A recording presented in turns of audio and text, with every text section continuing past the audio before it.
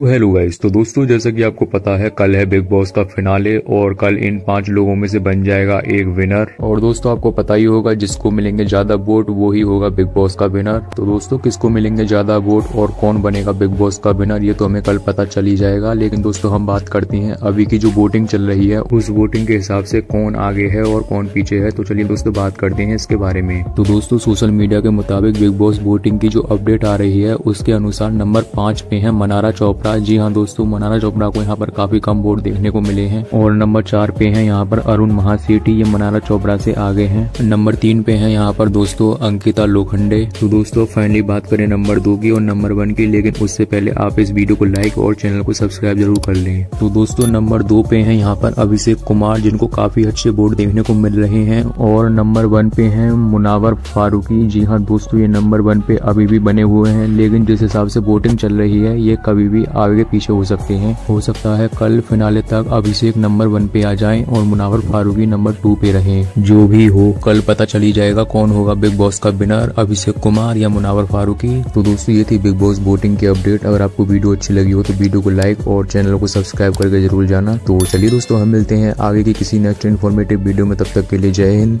Jai Bharat.